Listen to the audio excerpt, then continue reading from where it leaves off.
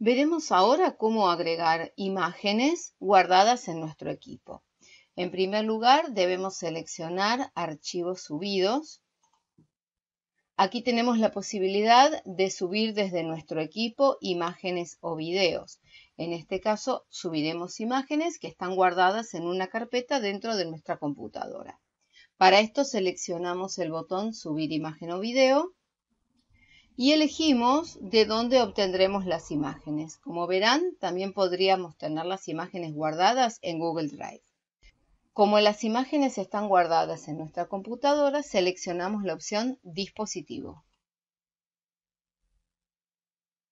Elegimos la carpeta donde se encuentran las imágenes, en nuestro caso se llama póster.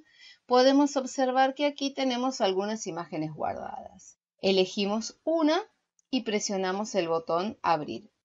Observaremos que la imagen se está cargando y una vez que haya finalizado podremos insertarla en nuestro póster.